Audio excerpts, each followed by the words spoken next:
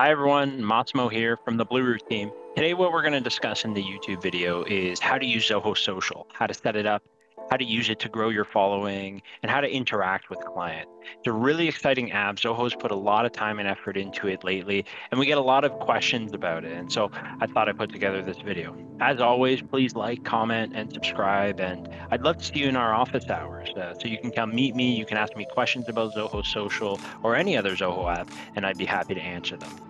Enjoy the video.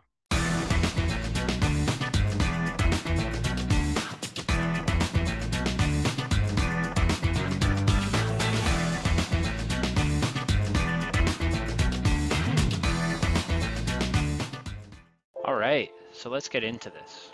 So I'm inside of Zoho Social here, and as you can see, there's a bunch of stuff on your page. If you're first logging into Zoho Social for the first time and you haven't set anything up, you'll have a pop-up on your screen that actually asks you to connect to social media channels. So you can connect to all of these channels here. You can see Facebook, Twitter, LinkedIn, Instagram, Google Pages, and YouTube. And Zoho is going to continue to come out with more. They're heavily invested in this application. And so it'll walk you through the integration steps. It's pretty straightforward. Like for Facebook, it'll ask you to log in with an account and then choose the Facebook page. Same with LinkedIn, same with Twitter. So it's a pretty standard process. Once you have your channels integrated, it'll start pulling data as it does here. And so you won't start seeing the arrows and the growth and the decrease until you've been using this for a little bit and it can start tracking kind of the delta between month A and month B, but you'll start seeing data populate here, which is great. So to go over the homepage a little bit, brand health, these are just some stats they give you for all the channels that are consistent across them.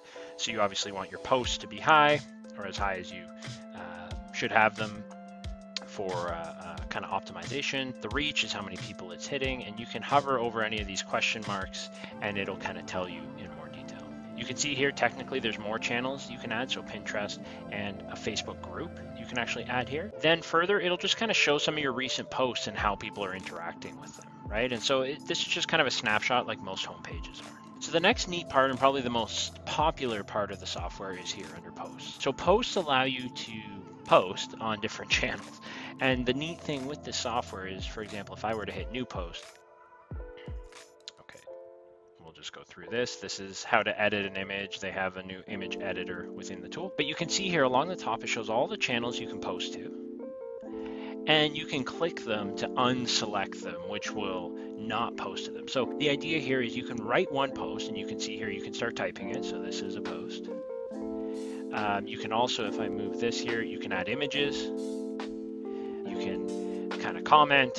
You can add all kinds of buttons. There's YouTube options, certain hashtag groups, and emojis. So you can really make this post personalized. And like I said, when you make this post, you can actually choose what channels this goes out on. And so it can all send at once. And so that's probably the next really neat part of this tool is you can publish it now. You can schedule it for a specific date and time and time zone. You can tell it to repeat if you'd like. So if you want this post to go out two or three times before an event, for example you could add it to the queue here and you could see it, it can kind of put it in unique time slots for you, or you can choose a smart queue.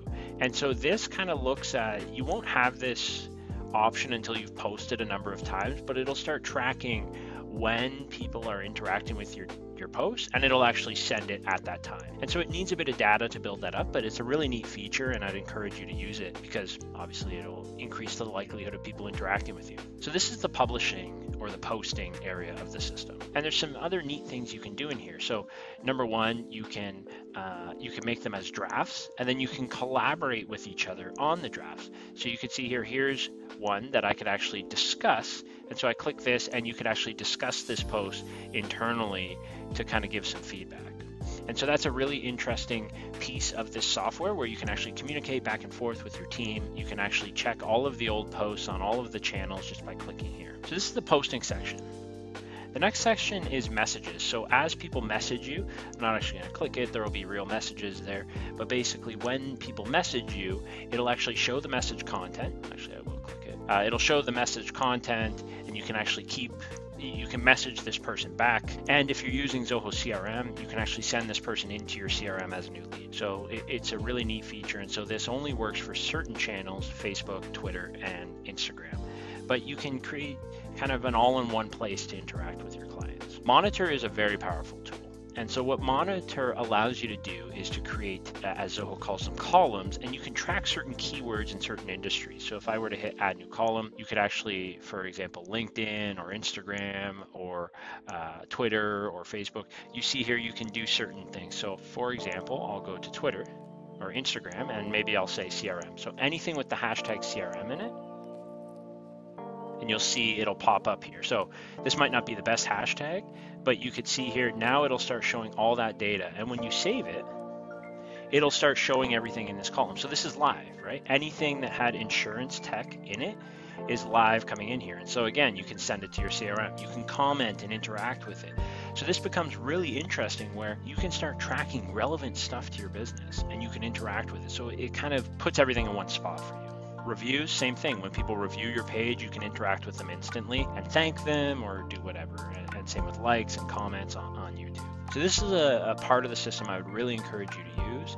Uh, it allows you to grow your following and interact with people instead of popping open Instagram and then popping open Facebook. It can be kind of exhausting. Having it all in one place is best.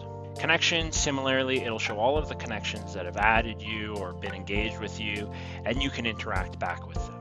The collaborate page is a really interesting one where you can actually communicate to your team, kind of make generalized posts or just make it like general news, or you can make a post that people can collaborate on. And so this is just kind of like a messaging board and you can toggle like for example if someone made a draft post and shared it, you could see it here and you could comment back at them or messages, they could share it and you could comment back to them and stuff like that. So this is internal only, it doesn't go to the client, and it's a great way to, especially if you're remote, uh, work with your team. Lastly, there's a report page. I'm not going to go into too much detail on this. It's very, uh, it's pretty much self-explanatory. You can't customize any of this. Zoho gives you a bunch out of box. You can see here some summary per channel, audience per channel, posting engagement, when they're engaging, how often, and kind of performance, right?